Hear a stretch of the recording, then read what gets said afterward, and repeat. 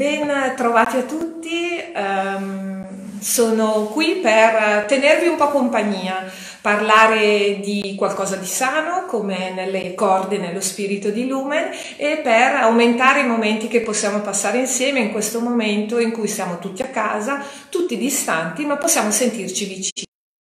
Um, quindi eh, ci alterneremo io e Sorili sempre a quest'ora della mattina. Alle 11 parleremo di salute in diverse declinazioni. Io eh, parlerò più di tematiche legate al cibo a cosa possiamo fare con il cibo per stare meglio perché è sicuramente uno dei capisaldi della naturopatia per vivere in salute per potenziare e mantenere la nostra salute eh, questi momenti si eh, aggiungono a quelli che eh, Davide quotidianamente eh, tiene per ehm, occupandosi di pensieri, di emozioni e quindi di meditazione e ai video della cucina che eh, saltuariamente stiamo preparando con grande impegno per darvi dritte pratiche per mangiare meglio. Oggi ho scelto come primo argomento un prodotto fermentato, il miso. Il miso che probabilmente tanti di voi conoscono è un prodotto che eh, affonda le sue radici, nasce nel lontano oriente, nasce in Cina eh, più di 2000 anni fa. Um, il suo nome significa fonte di sapore, fonte di gusto e si dice, una leggenda orientale narra che gli dei diedero questo, uh, questo prodotto all'umanità per rendere l'umanità felice, sana e per donare benessere. I monaci buddisti poi dalla Cina portarono il miso eh, in Giappone e lì si affinò questa produzione perché da un prodotto eh, che era derivato solo dalla soia eh, divenne un prodotto un po' più elaborato a cui furono aggiunti anche cereali eh, nei secoli a seguire. Perché era fondamentale per le comunità di monaci buddisti? Perché avevano un'alimentazione vegetariana e il miso contiene proteine cosiddette nobili con tutti gli aminoacidi considerati essenziali che erano un'integrazione fondamentale eh, per, per, i monaci buddisti. Dal Giappone poi è, stato tramandata, è stata tramandata negli anni, nei secoli questa produzione fino ai giorni nostri per fortuna con l'avvento della industrializzazione, delle produzioni industriali, eh, alcune famiglie non hanno perso questa tradizione ancora oggi possiamo godere di preparazioni tradizionali non solo provenienti dal Giappone, perché ad oggi in Italia ci sono dei piccoli produttori che ehm, producono miso, producono miso qui in Italia, quindi miso a chilometri zero o quasi zero che possiamo ricercare, possiamo trovare nei mercatini di prodotti biologici o prodotti dedicati. Quindi anche se in questo periodo può essere un po' difficile reperirlo, quando potremo muoverci più liberamente, eh, sicuramente riusciremo a trovare un miso di casa nostra. Perché il miso è così importante? Perché il miso è considerato un alimento fondamentale? Da noi l'ha portato la tradizione macrobiotica, quindi questa, questa corrente di pensiero, non solo alimentare, che arriva dal Giappone appunto. Ma perché è fondamentale? E ancora di più in questo momento, perché il miso, come vi accennava Soili quando ha fatto l'incontro sull'intestino, è mm, un grande aiuto proprio per la flora batterica intestinale. È un prodotto fermentato, eh, come ne conosciamo tanti. Eh, parleremo poi anche di altri fermentati in un successivo incontro, tanti fermentati che possiamo introdurre nella nostra alimentazione un po' come lo yogurt, diciamo, quindi è ricco di lattobacilli che fanno bene alla nostra flora batterica intestinale e quindi favoriscono una buona funzionalità intestinale, che è una condizione necessaria per avere una buona risposta immunitaria, quindi per alzare le difese generali dell'organismo. Ecco perché è importante sempre, ma in questo momento in cui parliamo tanto di salute, parliamo tanto di protezione, occuparci del nostro intestino è fondamentale.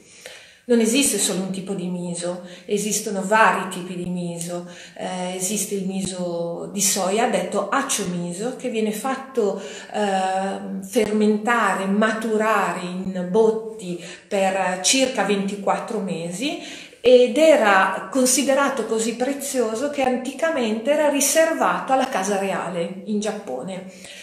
Ha un, pro, eh, ha un, sapore un po' forte. Personalmente amo di più il, um, il, miso di orzo il miso di riso, a cui si aggiunge alla soia cotta un cereale cotto o riso o orzo e vengono fatti fermentare. Anche in questo caso per uh, periodi lunghi, dai 12 ai 24 mesi, sempre in botti, viene fatto, uh, viene rinnovato, viene aperto perché la fermentazione avvenga al meglio in acqua e sale e poi viene, uh, quando quando è stabilizzata questa massa viene appunto ehm, stoccato e ha una durata molto elevata.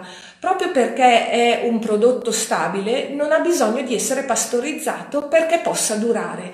Ecco che è fondamentale che controlliate quando comprate il miso che non sia pastorizzato, perché la pastorizzazione è un eh, procedimento abbastanza aggressivo che eh, rende meno vitale il miso e quindi che ucciderebbe o inattiverebbe molti dei suoi fermenti. Ed è fondamentale imparare a leggere bene l'etichetta per capire di che tipo di prodotto, eh, che tipo di prodotto stiamo comprando. Vi ho portato un eh, po' di miso di orzo, da, ecco ve lo voglio far vedere non ne potete sentire il profumo, ma è molto saporito, ricorda vagamente il sapore del il profumo di un dado, ma di un dado buono. Ecco perché alcuni lo equiparano tante volte, perché dà sapore, effettivamente dà sapore alle verdure bollite, dà sapore alle nostre zuppe. Poi vi dirò come utilizzarlo dopo aver parlato delle sue numerose proprietà. Il miso quindi abbiamo, essendo un prodotto vivo, va, con, va conservato al fresco, in un luogo asciutto al fresco, non va pastorizzato, non va cotto a lungo, anche se può essere scaldato perché è un prodotto resistente e va utilizzato eh, con cognizione di causa perché tante volte facciamo l'errore di pensare che ciò che fa bene va usato in grandi quantità, più ne usiamo meglio è. Non è così. Non è così per tante cose. Ciò che fa bene va utilizzato, magari con frequenza, ma nella giusta misura. Eh, quindi il miso può essere eh, utilizzato quotidianamente a seconda delle tipologie di persone, a seconda di quello che voglio raggiungere.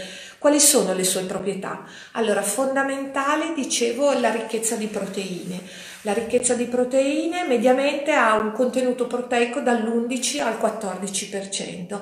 Ecco, per chi, eh, ecco che diventa importante per chi ha regimi a basso tenore eh, proteico mm, dal punto di vista animale e quindi vuole integrare, vuole sentirsi sicuro. Tante volte abbiamo eh, il timore di eh, assumere poche proteine è fondamentale quindi per la nostra flora batterica intestinale ed è fondamentale perché favorisce l'utilizzo, la digestione e l'utilizzo delle proteine, dei carboidrati, dei grassi, quindi favorisce il metabolismo e la digestione.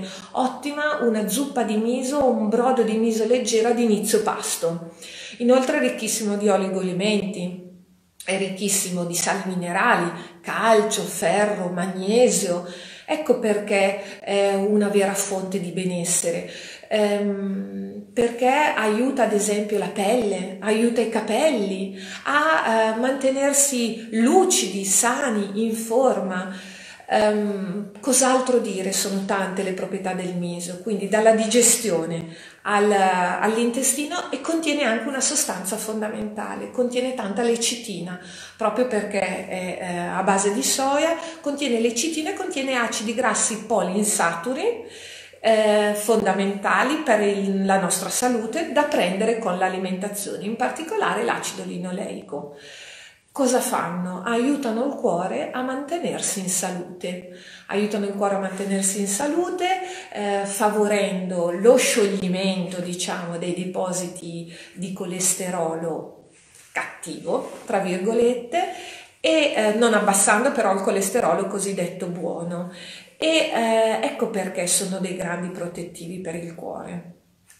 Inoltre il miso aiuta a ehm, nei, negli stati infiammatori, aiuta a contrastare gli stati infiammatori proprio per la sua ricchezza di sali minerali. Quindi ricapitoliamo un po' il perché dovremmo prendere il miso quotidianamente. Allora, innanzitutto, ecco, mm, prima di ricapitolare, il miso è un prodotto molto salato, quindi per chi ha problemi con un eccesso di sodio nella dieta andrebbe utilizzato con attenzione andrebbe utilizzato con attenzione anche se ovviamente mm, quando parlo di alimentazione, faccio questa premessa, quando parlo di alimentazione come ora, parlo di un, di un tassello, è come un grande puzzle che eh, si compone di tanti tasselli. Quindi oggi stiamo parlando di un pezzo, ma è un pezzo in un quadro più grosso. Ecco perché quando mi fanno domande di alimentazione o quando da naturopata do consigli sullo stile di vita, non posso vedere solo una pennellata di un quadro, voglio vedere tutto quel quadro per capire come quel quadro, l'armonia di un quadro generale e poi eh, al contempo un, un, quadro generale va sempre calibrato in base alla persona di cui sto parlando. Quindi adesso parliamo di un pezzettino importante, ma che ognuno dovrebbe adattare al proprio stile di vita, quanto mangio salato, quali altri prodotti mangio, eh, da che cosa è formata la mia alimentazione in generale, le mie abitudini e quindi eh, sappiate sempre che ogni indicazione pur valida va calibrata perché le reazioni sono sempre individuali e perché le abitudini che, fanno, che producono salute sono tante, producono salute o meno. Ok? Quindi il miso aiuta la eh, digestione, quindi importantissima sarebbe iniziare un pasto, una cena. Eh, una cena, sapete perché dico una cena? Perché una bella zuppa di miso la vedo molto serale. È vero che inizia a fare caldo, ma non fa ancora così caldo. E quindi un po' di brodo di miso sarebbe riscaldante, eh, aiuta la digestione e aiuta a eh, utilizzare meglio tutto il cibo che mangerò dopo. A tal proposito vi faccio vedere, anche se non posso eh, ovviamente fare come ho fatto con il miso, perché questa è una zuppa appena fatta. Quindi io vi faccio vedere, anche qua ha un profumo eccezionale che voi non potete sentire, però vi assicuro che potete farla facilmente. Vi do una ricetta veloce, poi um, per 5 tazze d'acqua Mm, più o meno dobbiamo prendere una tazza di carota, quindi una verdura un po' dolce, potrebbe esserci anche la zucca, anche se adesso non è di stagione, tagliata a pezzettini piccoli. Poi la cottura varierà anche in base alla, eh, ai pezzi in cui, ai pezzi, eh, alla grandezza dei pezzi in cui ho tagliato la verdura. Una cipolla affettata fine, ehm, una verdura verde, un po' di sedano, una verdura verde in questo caso potrebbero essere degli spinaccini o delle coste primaverili e eh, in questa zuppa abbiamo messo anche dei cubettini di tofu. Si fa sobbollire eh, per un tempo variabile dai 15 ai 30 minuti, sempre a, in base alla verdura che ho messo dentro e alla grandezza dei pezzi che ho scelto di, eh, che ho scelto di tagliare. Ehm, poi quando la, la, bollitura è terminata si aggiungono eh, un cucchiaino di miso che può arrivare fino a due in alcuni casi per ogni tazza di acqua. Um, si mescola, si può fare sobbollire lentamente per un minuto al massimo e poi si serve si può aggiungere qualche pezzo di tofu e qui chicca finale si, può, si aggiunge un po' di erba cipollina o un po' di cipollotto fresco tagliato al momento oppure un po' di prezzemolo proprio alla fine per dare un gusto, un sapore, una vitalità con qualcosa di fresco appena prima di mangiarla. Quindi eh, la zuppa di miso è buonissima, accontenta grandi e piccini perché? Perché è molto saporita. Eh, ma il miso è molto saporito e si può utilizzare anche in altri modi. Vi faccio un esempio. Eh, a me piace molto perché amo le cose secche, spalmato sulle gallette o su una fetta di pane, tostata o meno è come un, un patè che può essere in questo caso anche arricchito sempre di erba cipollina o di tain. Vedremo poi le proprietà del tain, del sesamo e del gomasio mercoledì sempre alle 11 quando eh, ci rincontreremo per parlare di un altro cibo eh, molto salutare, buono e salutare. Ehm, quindi il miso può essere anche utilizzato in tanti altri modi, può essere fatta anche una cremina di miso e tain che faccia da condimento su una verdura bollita, quindi niente olio, niente sale, questa cremina eh, che condisce e dà sapore. Questo, quello perché vi sto dicendo? Sto mantenendo un po' due linee, il buono che fa bene. Tante volte abbiamo l'idea di ehm, prendere quello che fa bene, un po' così come sforzo. In realtà quello che fa bene può essere molto buono, può essere molto buono. Ci sono tante cose che fanno bene, che nutrono la salute, che nutrono il nostro gusto. Il miso è uno di queste, per la digestione, per la flora batterica intestinale, per aiutare il metabolismo, per la bellezza di pelle e capelli per, ehm, per utilizzare meglio tutti i, le, per utilizzare al meglio il cibo che mangeremo dopo, quindi il metabolismo di grassi, proteine e carboidrati e per integrare una dieta di sali minerali ed oligoelementi. Uh, per ultima, ma non ultima, la ricchezza di vitamine del gruppo B, che è importantissima per il nostro sistema nervoso eh, in questo momento più che mai, visto che tanti di noi sono messi alla prova, ma eh, anche proprio per eh, il, per il mm, tanti meccanismi che quotidianamente il nostro corpo svolge. Quindi fate che il miso, fate sì che il miso arrivi sulle vostre tavole tutti i giorni o frequentemente nella giusta dose, senza esagerare. Io vi ringrazio eh, vi aspetto mercoledì alle 11 qui, parleremo di sesamo, tain, eh, gomasio e eh, domani ci sarà Soili che parlerà dei rimedi naturali per l'insonnia. Ciao, buona giornata, se avete bisogno noi di Lumen ci siamo, siamo qui con voi per far sì che questo momento diventi un momento pieno di eh, nuovi germogli per la nostra vita, presente e futura. Buona giornata.